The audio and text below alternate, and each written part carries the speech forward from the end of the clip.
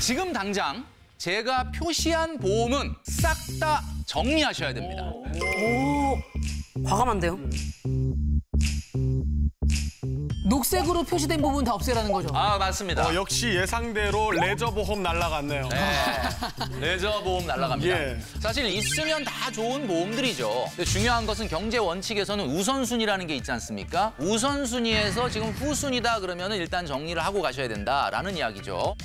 자, 어떤 보험을 남기고 어떤 보험을 정리하면 되느냐. 예를 들면 이런 거죠. 치과 치료비를 못 받아서 내 인생 자체가 흔들립니까? 아내분? 그건 아니잖아요.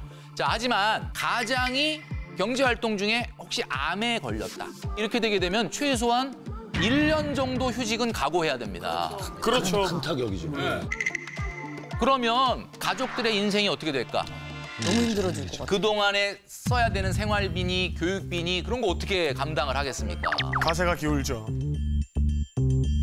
제가 지금 보여드렸던 우선순위가 보험금을 타지 못했을 때 나한테 경제적 충격을 세게 주는 거 우선순위로 재편을 한 거예요. 어, 그럼 그렇게만 하면은 안 보면 많을수록 좋다는 거 아니에요, 그러면은? 물론 이 세상이 무조건 많을수록 좋지만 연봉의 한 1.5배 정도가 적당하지 않을까. 그 이상은 과잉이다라는 거죠.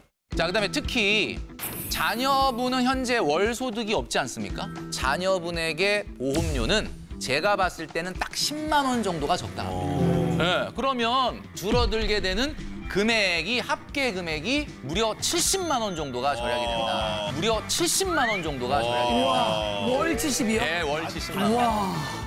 본인 명의로 되어 있는 보험 중에 22만 6,250원, 그리고 남편분이 33만 1,200원, 아드님이 15만 160원, 총 도합 70만 7,610원이 절약이 되네요. 아내분 어떻게 이 보험들 해지하기가 좀 아까우세요? 어떠세요? 아까운데 해야지. 우와, 이제 대단- 아까운데 해야 된다. 그래도 아내분은 10개 들고 계십니다. 그러니까 그렇게 줄여도 지금 사실은 일반적인 경우보다 굉장히 많이 가입하고 계신 거예요. 훨씬, 훨씬. 이거는 받아들일 수 있어요. 예. 그래도 이제 우리가 그 보험 정리 좀 복잡하다라고 생각하시는 분들 위해서 제가 한번 다시 말씀드리도록 하겠습니다. 우선 소득이 있는 성인이라고 하면은 일순위는 실비 보험이 되겠습니다. 맞아, 이거 있어야 돼. 그 다음에 두 번째 순위는 아까도 말씀드렸죠. 암보험. 그 다음에 세 번째는 건강보험. 그 다음에 사순위는 상해보험이 되겠습니다. 자, 그렇게 해서 보험을 줄이고 나서 남은 70만 원을 어떻게 하느냐? 저축하십시오. 저축하십시오. 자, 이렇게 한 달, 두 달 통장에 넣어둔 돈은 해지라는 것이 없습니다. 100% 중간에 해지하더라도 나한테 다 돌아온다. 이 말을 하는 순간 우리 남편분이 굉장히 좀 씁쓸한 표정이 그러니까요. 분명히 아, 이 70만 원 중에 일부가 나한테 돌아오겠구나라고 그렇죠. 생각을 하셨을 텐데. 뭐 사실 그거는 우리 두 분이 상의해서 좀 조절을 하시면 되지 않을까 싶습니다. 아, 여기서 쏙 빠지시는 건가요?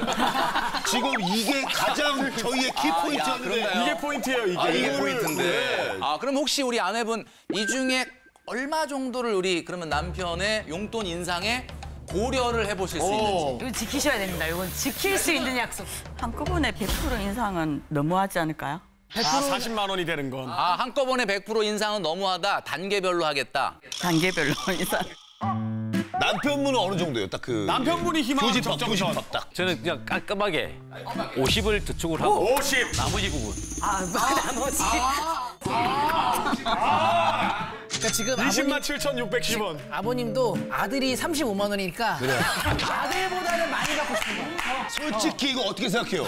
아들보다 5만 원더 받아야지. 저도 그렇게 생각합니다. 아니 사실 이런 암이나 이런 병 같은 것들이 만병의 근원 중에 하나가 스트레스잖아요. 근데 예를 들어서 20만 원을 더 줬을 때 그 스트레스가 없어지고 그 스트레스가 없어지면서 가족들한테 해피바이러스를 풍기게 되고 어. 그렇게 된다면 사실 이거는 그 어떤 것보다도 야. 더큰 투자입니다. 아, 너무 큰 솔루션이었다. 그죠? 너무 좋아. 공감합니다. 맞아요, 맞아요.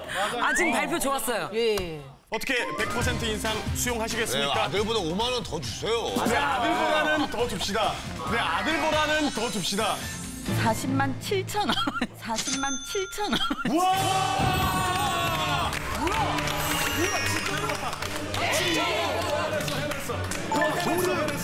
사실은 40만 원이라는 한 달 용돈이 뭐 물론 정말 큰 돈이지만 아, 그렇죠. 이 50대 가장에게는 어찌 보면 좀 당연한 금액일 수도 있는데 너무 진짜 순수하게 좋아하시니까 이 극적인 타결을 이뤄낸 저희가 다 행복하네요 진짜. 제 아내분은 지금 사실 이 결정이 쉽 지는 않은 결정인 것 그렇지, 같은데 쉽지 않지. 딱 결정하게 된 가장 큰 이유는 뭐예요? 이때까지 노력해주고 열심히 이제 가정을 위해서 애써줬으니까. 맞아, 맞아. 이제는 우리도 즐기면서 같이. 맞아요. 삶의 질을 가져야 돼요. 이제 용돈이 지금 두 배 이상으로 올랐는데 오른 인상으로 뭐부터 혹시 하고 싶어요? 어 궁금하다.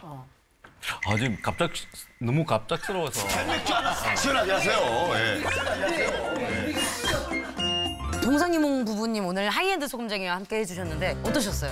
어, 진짜 오늘 여기에 나와가지고 손절할 건 손절하고 이제 공금은 같이 의논해가지고 어, 그래야 될 것 같아요. 지금 손절이라는 말씀을 하셨기 때문에 제가 한 가지 첨언을 드리면 손절을 많은 분들이 손해보고 어, 중단하는 거다라고 잘못 알고 계시는데 더 큰 미래의 손해를 막기 위해서 지금 중단하는 겁니다. 그러네요.